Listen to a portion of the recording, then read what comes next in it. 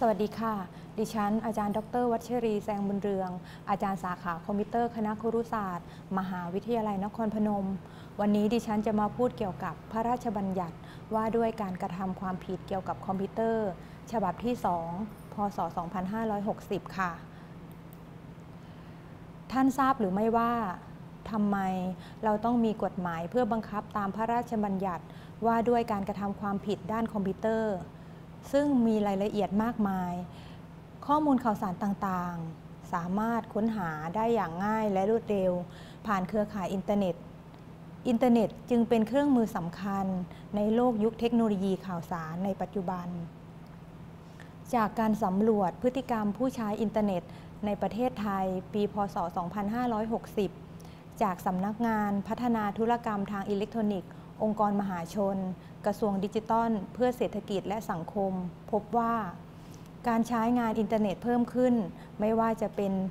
ด้วยตัวเลขดังกล่าว จะเห็นได้ว่าไม่ว่าจะเป็นตัวเลขในโซเชียลมีเดียการค้นหาข้อมูล การรับข้อมูล การธุรกรรมทางการเงิน หรือแม้แต่การซื้อขายสินค้าออนไลน์ ก็ยังมีตัวเลขที่ชัดเจนยิ่งขึ้น ซึ่ง ชี้ให้เห็นในเรื่องของการใช้งานอินเทอร์เน็ตอย่างต่อเนื่อง ผู้ใช้งานและสื่อจึงควรใช้วิจารณญาณในการรับข้อมูล เพราะบางคนได้ใช้อินเทอร์เน็ตเป็นเครื่องมือในการเผยแพร่ข้อมูลต่อไป จากตัวเลขสถิติ ภัยคุกคามทางไซเบอร์ รวมตั้งแต่ปี 2554 ถึง 2559 ตัวเลขค่อนข้างที่จะชัดเจน ในปีพศ 2554 มีจำนวนกรณีที่เป็นกรณีศึกษาเกี่ยวกับภัยคุกคาม 646 ปี 2555 มีจำนวนกรณีศึกษา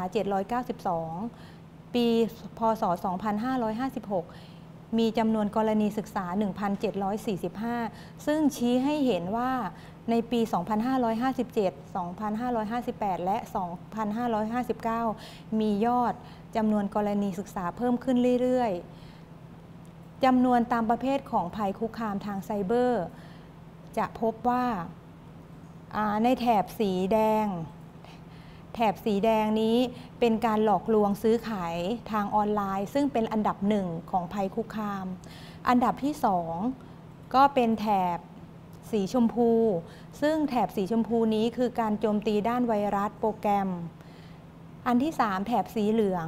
เป็นการเข้าใช้ระบบคอมพิวเตอร์โดยไม่ได้รับอนุญาต ข้อมูลข้อมูลนี้ได้มาจากสำนักงงานพัฒนาธุรกรรมทางอิเล็กทรอนิกส์องค์กรมหาชน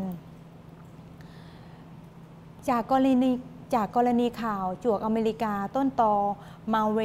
โดนแฮกป่วนโลก หนังสือพิมพ์ไทยรัฐฉบับวันที่ 16 พศ 2560 ชี้ให้เห็นว่าในโลกยุคปัจจุบัน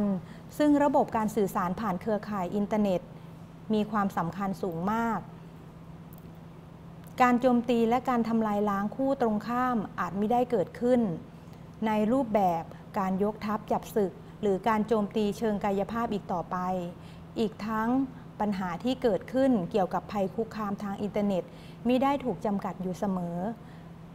และไม่ได้จำกัดอยู่เฉพาะภายในขอบเขตของรัฐชาติใดรัฐชาติหนึ่ง สภาวะของโรคโลกาภิวัตน์นี้ ส่งผลให้เกิดความขัดแย้งทางการเมือง เศรษฐกิจได้ปรากฏขึ้น บนพื้นที่ออนไลน์ โดยเฉพาะในพื้นที่ที่มีความสำคัญทั้งด้านความมั่นคง และเศรษฐกิจของโลก ยุคทุนนิยมเสรี